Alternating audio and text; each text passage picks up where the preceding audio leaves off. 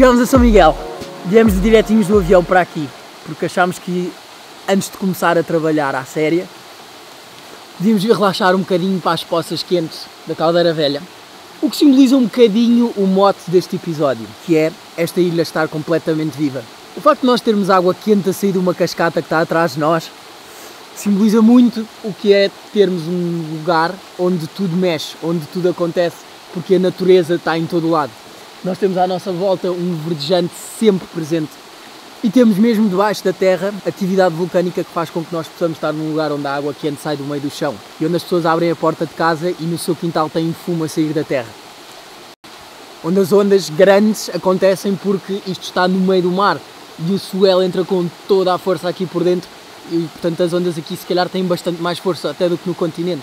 E é isso que nós vamos querer explorar. Portanto, bora lá.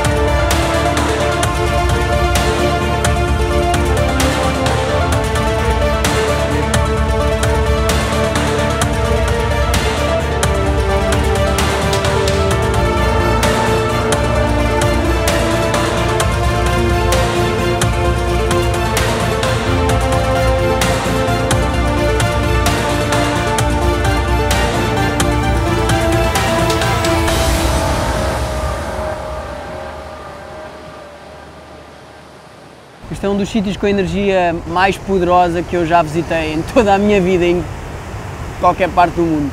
Nós estamos em Rabo de Peixe e todo o enquadramento desta onda faz-nos descer aquelas escadas com o coração a 450 a hora.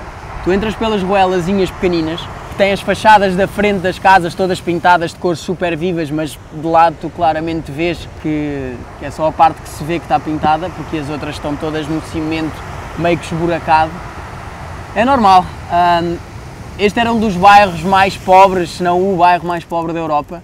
E apesar de hoje em dia não ser como há 20 anos atrás, em que isto era completamente um microclima de pescadores, onde as pessoas viviam para o mar e não havia sequer um porto, os pescadores arrancavam para dentro d'água, um, no fundo para trazer o jantar para casa, não havia telemóveis, não havia walkie-talkies, não havia rádio, não havia nada. Então as histórias são de que as mulheres sentavam ali naquele muro a chorar aos gritos quando os maridos não apareciam ou os filhos não apareciam a uma determinada hora porque nunca sabia quando é que eles iam ou não voltar. E nós estamos numa ilha, o mar é super poderoso aqui. Hoje em dia, apesar de não ser assim e de nós termos acesso a rabo de peixe, continuamos a entrar aqui num microcosmos. Mal passamos as ruelas pequeninas, vemos os homens sentados uh, no chão ou nos cafés ou sei lá, nos muros. Parece que o tempo parou um bocadinho aqui. É um bocadinho chocante entrar por aquelas ruelas e a imagem que se tem disto no continente e mesmo no resto de São Miguel é de que isto às tantas é se calhar um lugar perigoso, um lugar assim um bocadinho sketchy, mas a verdade é que nós não sentimos isto.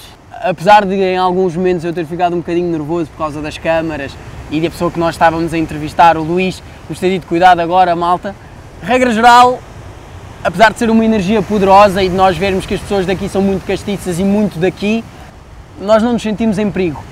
Ainda assim, ao entrar nesta onda, que não é propriamente a onda mais fácil do mundo, nós estamos ali a 20 metros das pedras quando estamos a dropar e é uma onda que mexe muita água.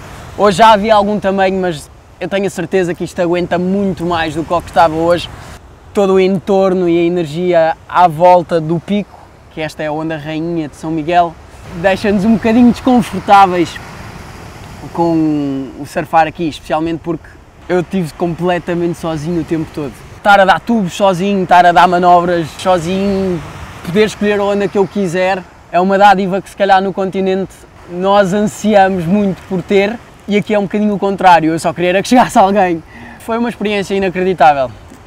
É um, um micromundo dentro de um micromundo que vale muito a pena visitar, sendo surfista ou não sendo surfista, só para viver a crueza que isto é.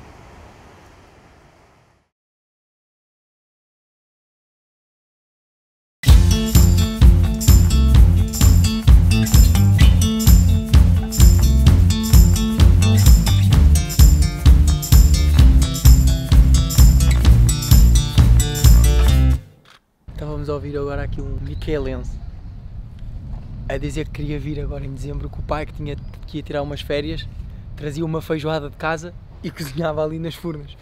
Portanto, isto é uma coisa que hoje em dia se calhar é super turística e cenas. Mas continua, por um lado, nós realmente estamos dentro da cratera de um vulcão. Tipo, isto continua a funcionar. Tu estás a passar ali na estrada e tens uma, uma fumarola num sítio meio esquisito, tipo a mandar fumo do meio do nada. Tipo, que é que está aqui a fazer? Não parece nada pensado. Claro que não é pensado. A cratera de um vulcão. Super São Miguel.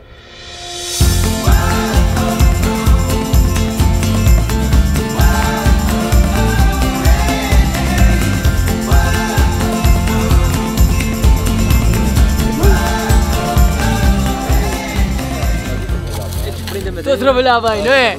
Assim é que se trabalha. Esse aí tem uma, uma parte mais alta, eu agora os lados. Ok, agora aqui do lado. Estás a, estás aprovado. Estou aprovado, posso Tá, tá. trabalhar para aqui? Já sei. Ah, se esta coisa de ser pivô correr mal lá em Lisboa, venho levantar a tampa das furnas.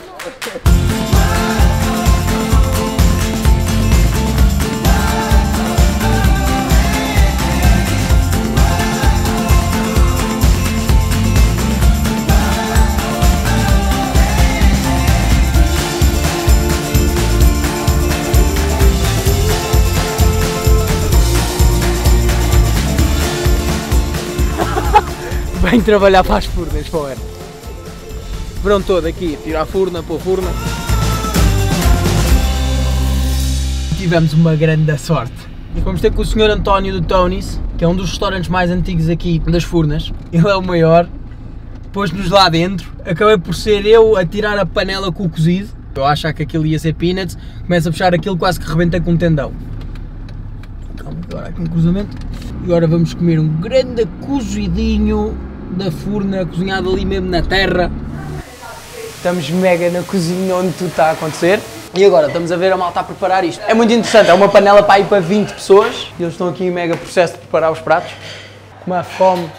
Este aqui, Sim, sim. Se quiser levar consigo, já pode levar. o nosso cozidinho. Vamos, obri... Vamos embora. Olha, muito obrigadinho. Até já. Sim. Vou subindo. É, não é?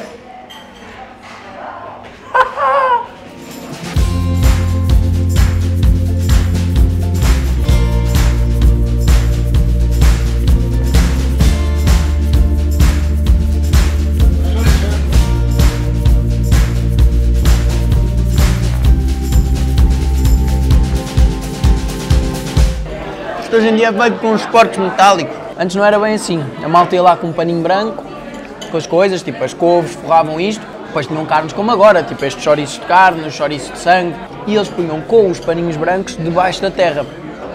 Era a forma tradicional de fazer isto, depois houve quem experimentasse ter estes suportes metálicos, usou-se panelas porque supostamente o sabor fica melhor, Ahm, e agora a coisa é feita assim.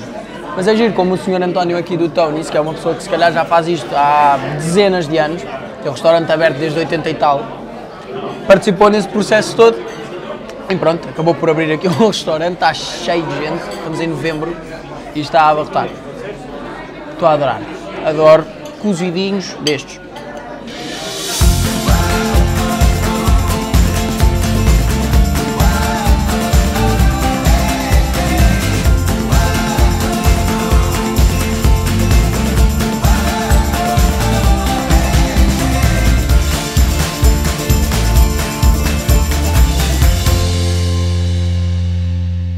Depois de um cozidão daqueles, não havia como não vir dar uma voltinha para remoer. Viemos passear pelo povoamento das Furnas, que podia ser um lugar completamente normal. As casinhas e tal, construídas, branco, Açores, verde, porreiro. Só que a pessoa mora aqui, abre a porta de casa e leva com uma coisa destas. Como é que será viver num lugar que é uma cratera de um vulcão ativo aqui nos Açores? A malta parece levar as coisas bastante normal.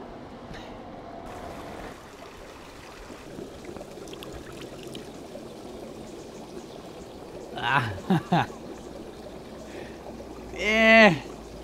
Não era assim a aguinha que eu bebo todos os dias. Talvez para lavar de dentes desse. Deixa lá provar outra.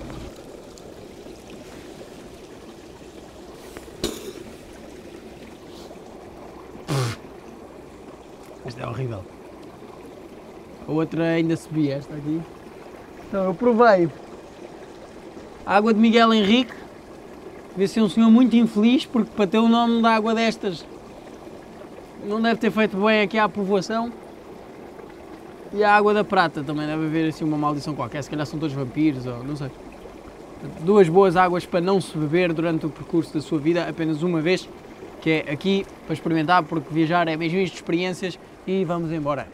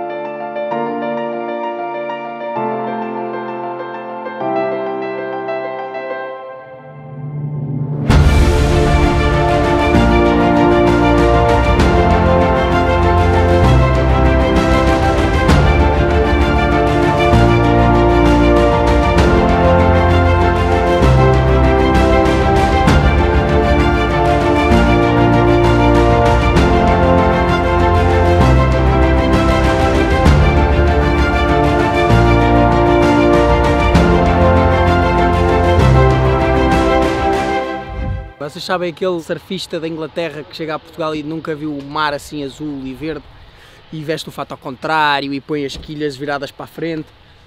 Sou eu, no BTT. Olhem isto.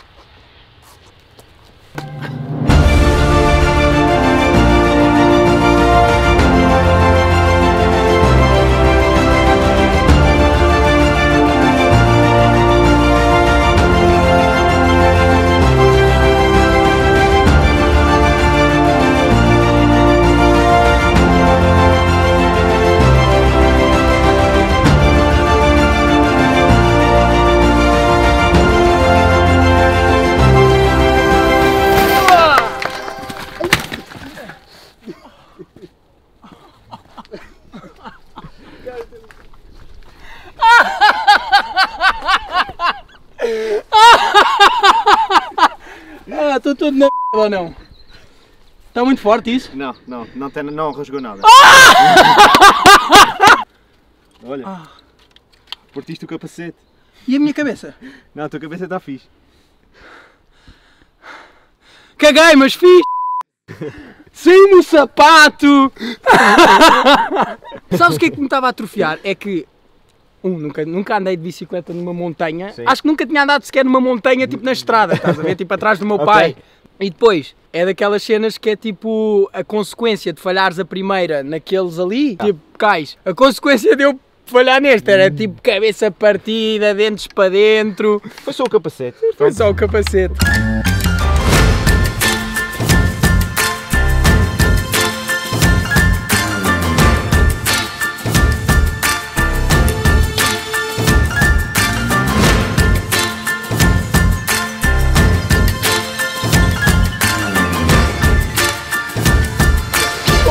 Aberta, como é que é?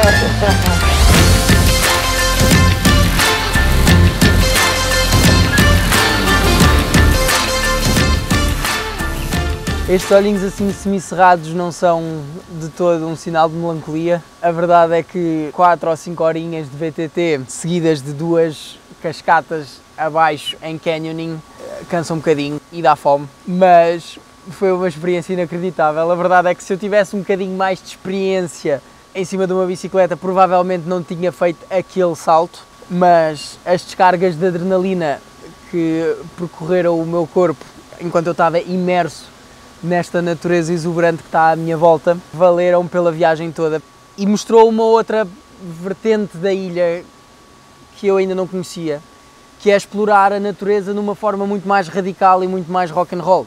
E sendo São Miguel, se calhar uma das ilhas mais bonitas do mundo por esta parte mais eh, verde, não viver a floresta e as montanhas assim é um erro. Juntar ao surf isto é ainda mais especial. E depois de uma manhãzinha como esta, não há nada como uma almoçarada à séria. Então eu preparei aqui para vocês dois menuzinhos alternativos. Eu vou começar pelo mais rechonchudinho. Que seria começar a abrir logo ali com um queijinho da ilha, um dos 45 que tu podes comer. Eu comi logo 11, que era para não haver aqui dúvidas. Depois passas para um bolo leve, que é bolo leve de São Miguel, aquelas coisas tipo Avião sem asa, fogueira sem brasa, sou eu, assim sem você. São Miguel, sem bolo leve, é sou eu assim sem você. Com manteiga de alho fica espetáculo. Depois vais para o bifinho de vaca, pronto, São Miguel, vacas também, aquelas coisas. Não vou cantar a música outra vez, mas vocês percebem a ideia. E são bons, não é? Grossinhos, gostosinhos, bifinho de São Miguel. Acabas o menu com a Bela da Queijada de Vila Franca, se ainda tiveres estômago para isso, porque aquilo ainda assenta bem, vamos dizer assim. Mas se estiveres numa de cenas mais leves, porque, sei lá, por acaso nesse dia não fizeste 4 horas de BTT e rapel e surf, hum, podes optar pelo menu light que eu desenhei aqui para vocês. Começas por umas lapas, que não é propriamente a coisa mais light do mundo, aquele moinho de manteiga ainda, ainda bate bem, mas pronto, é light comparado com o outro menu. Daí vais para um peixe porco, dentro dos peixes também agora a pensar não é muito light, é bastante gorduroso mas não faz mal, é incrível, peixe porco, tipo, parece um hambúrguer, comam, se nunca comeram, venham a São Miguel comer. E para tornar a coisa um bocadinho mais leve, porque como eu disse que o menu era light e tal, não podemos decepcionar os espectadores, comes um ananazinho, que são mesmo, pronto, ananás e São Miguel e tal, e vais ali ao chá da Gorriana e ainda bebes no meio das plantações, super chill, um chá, assim só para, ah, um chá, chá da Gorriana. E tens aí os menus, Olha, vou-te dizer, combo melhor do que esta aqui na ilha, não vais encontrar em lado nenhum. Chefe João Copo, ao vosso serviço. Obrigado. Não tem de quê.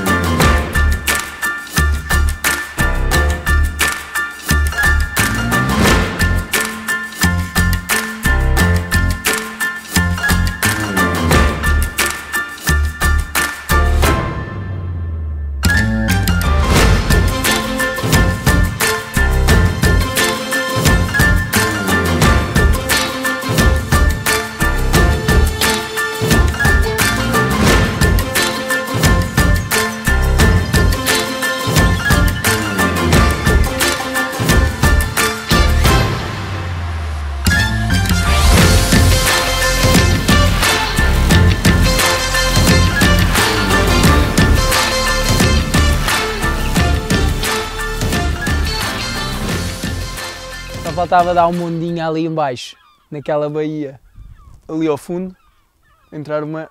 Já imaginaste uma esquerda perfeita a entrar ali naquele banco? Uau! Era um bocado estúpido vir aos Açores, um bocado estúpido. Pronto, era daquelas coisas que não se pode não fazer quando se vem aqui a São Miguel, é perder a visitar as lagoas. Tens várias, muito, muito bonitas todas, cada uma diferente da outra. Esta que está atrás de nós é a do Fogo. Depois tens a das Sete Cidades, que é obviamente a mais conhecida. Depois tens lagoas um bocadinho mais pequenas, a do Congro. Tens a Lagoa das Furnas, que depois tem outra atração turística, não é? Que é as Furnas. Mas, essencialmente, o que esta ilha tem para dar é os verdes que ela tem, a natureza que ela tem e os vestígios da sua criação vulcânica que são estas lagoas, são as fumarolas, que depois acabaram por ser absorvidas por uma vegetação que é única no mundo. Este é dos lugares mais bonitos que eu conheço. Um, e que a misturar a isso, por causa das ribeirinhas que há em todo o lado, nós temos cascatas, temos lugares de, enfim, de, de, começar a chorar de tão bonitos que são. O único senão que nós encontramos quando visitamos estes sítios todos é que do nada começa a chover, ou começa uma ventania do pior, ou estamos de calções de banho e t-shirt todos contentes para ir dar um mergulho lá abaixo e depois lá embaixo estão 10 graus porque fez de noite com a nebulosidade que ficou. E portanto, num dia tu tens, se calhar, acordas na primavera, passas para o verão, todo contente, depois fica outono e depois fica inverno. Um, e depois volta a ser verão e depois volta a ser primavera. Tu vives todas as estações do ano num dia aqui em São Miguel. Num dia, numa hora às vezes. E esta é uma das razões pelas quais até nós estamos aqui tão tarde. É que nós tivemos o dia todo à espera que o tempo abrisse finalmente e o dia fez-se um bocadinho de noite, como está a ser agora, e só deu para subir a este mirador agora.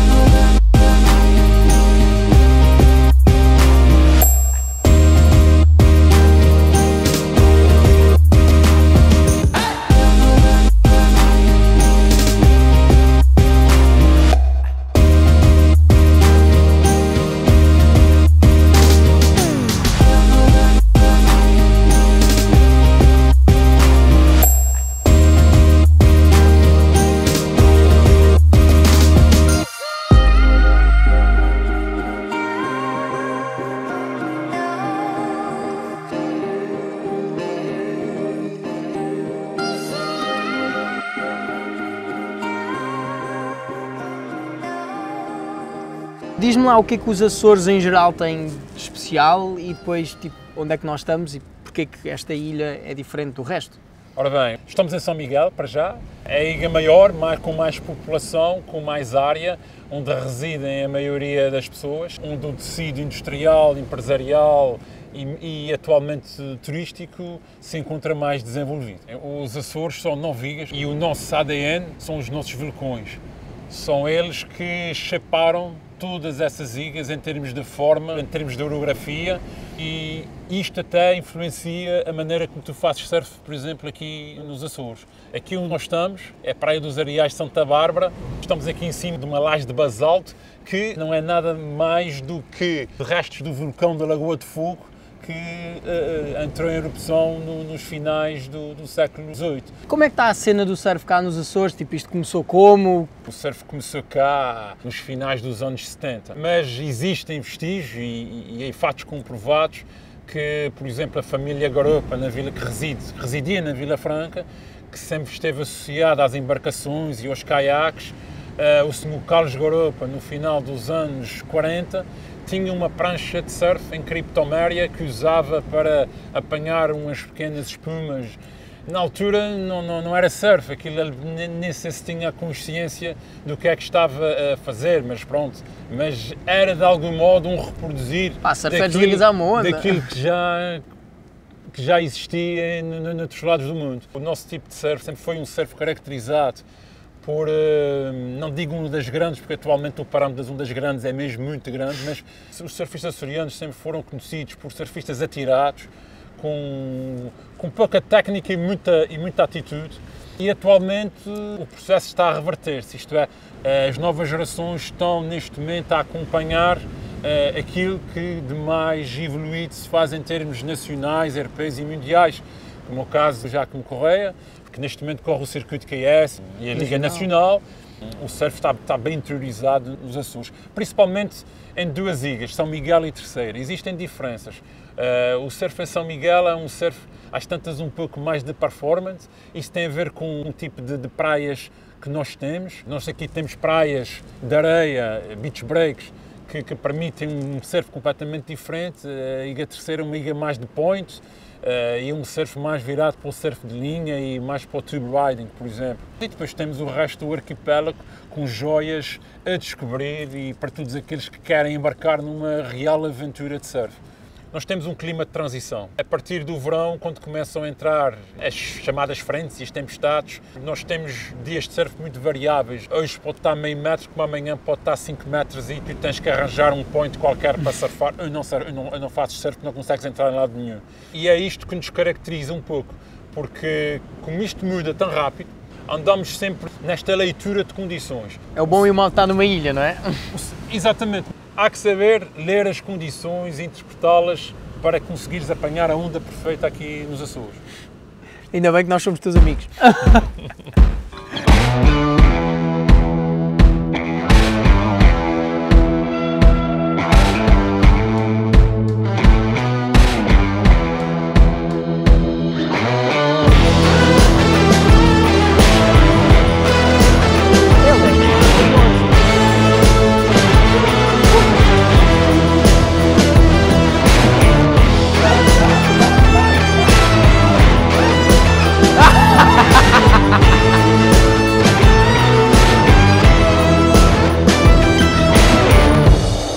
Sozinhas lindas.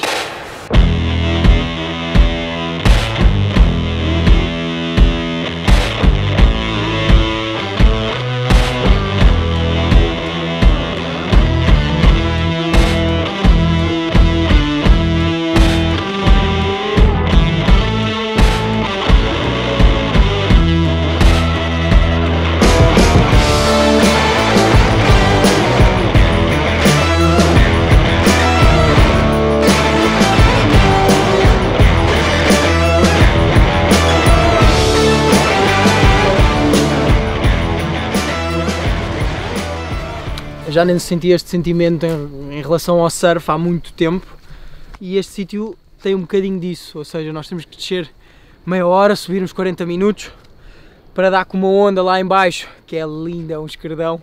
Hoje está um bocadinho grande mais, mas espero que amanhã dê mais pequeno. Depois tu chegas lá abaixo, para além de não haver quase ninguém, tipo a malta que há está tudo com um espírito super relaxado, agora acenderam uns uma fogueira na praia e vive-se esta vida selvagem aqui dos Açores, tipo é épico, eu um dia vou-me mudar para aqui quando for reformado e surfar de single fin só, já não tiver uma perna ou assim, mudo-me para aqui só surfar estas ondas, claro que tenho que levar um helicóptero lá abaixo ou assim, mas na altura isto já vai ter um parque de estacionamento.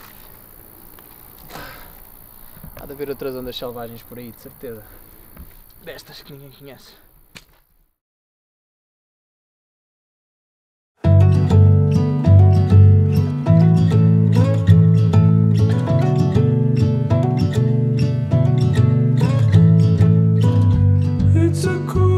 Nós estamos à porta de uma igreja em Ponta Delgada, que é uma daquelas coisas que pode caracterizar esta pequena cidade de uma das, formas, das suas formas mais reais, porque está igrejas aqui ao pontapé. Mas, a contrastar com estes blocos de pedras pretas e igrejas com entradas em mármore, etc., tu tens as paredes pintadas de alto a baixo, metros e metros de arte contemporânea do mais underground e fixe, na minha opinião, que há. Depois, claro, que tens outras coisas super interessantes, como o mercado. Aliás, passar em Ponta Delgada e não ir ao mercado é daquelas coisas super criminosas que não se podem fazer. Ponta Delgada está no sul e, portanto, o lado sul de São Miguel acaba por ser bastante diferente do lado norte, apesar de nós termos os verdes e a terra viva a mesma em toda a costa sul, a verdade é que ela é um bocadinho mais amena, a temperatura é mais quente, não é tão raw e tão pesado, talvez como o lado norte, com vilas como Rabo de Peixe e a Ribeira Seca, que, que nós entramos ali e começamos assim a tremer um bocadinho, porque aquilo realmente é do mais castiço que anda por aqui.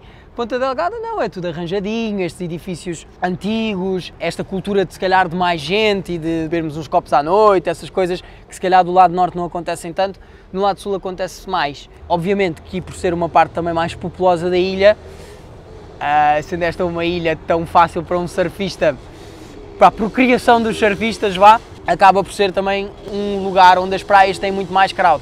É o caso, por exemplo, do Poplo. Foi dos poucos sítios nesta viagem onde eu acabei por surfar com companhia e nós nem surfámos no lugar onde havia mais crowd. Acaba por ser uma praia urbana, não é? No fundo, onde a malta daqui que vive em Ponta Delgada, havendo ondas no sul, ninguém pensa sequer em ir ao norte. Arranca tudo para o Poplo e vai surfar aquelas ondas que se calhar são para mim a minha praia local, ali à frente de casa.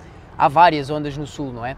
A questão é que isto não funciona sempre. Como a ilha acaba por ter assim uma forma de feijão, os chueis não conseguem dar a volta à ilha e, portanto, quando está a funcionar o lado norte, normalmente não está a funcionar o lado sul. Quando está a funcionar o lado sul, normalmente não está a funcionar o lado norte. É engraçado porque hoje que eu tive a ver o mar na Praia do Popolo, eu percebi que há muitos surfistas aqui na ilha. O mar estava cheio de gente.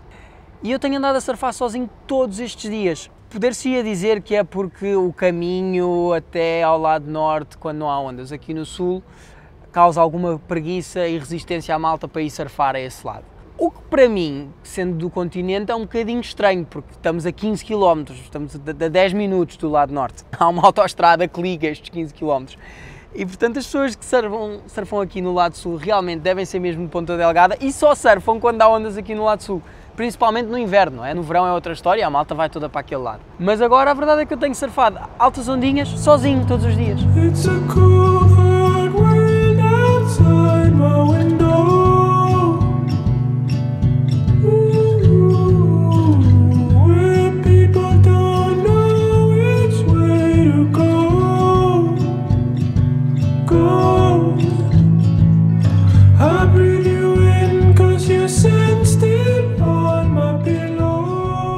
última tarde aqui em São Miguel que o inverno decidiu finalmente aparecer. Foi uma semana cheia de emoção e principalmente uma semana onde eu senti, talvez uma, da forma mais intensa em qualquer viagem que eu já tenha feito por esse mundo fora, que a Terra estava a nos envolver de todas as maneiras possíveis. Os Açores, não só São Miguel, são a terra do soberbo, onde todas as paisagens são um bocadinho como esta e nós nos sentimos mínimos ah, em comparação com a natureza. Os Açores acabaram por ser no meio da confusão da cidade e de Lisboa e da vida normal, uma escapatória e um regresso quase a uma vida ainda de verão que acontece o ano todo. E esta Ilha Verde, esta Ilha Viva, vai-me deixar memórias que eu vou levar para casa e que provavelmente no meu próximo intervalo onde eu puder dar uma escapadela vão me impelir a cá voltar mais cedo do que tarde.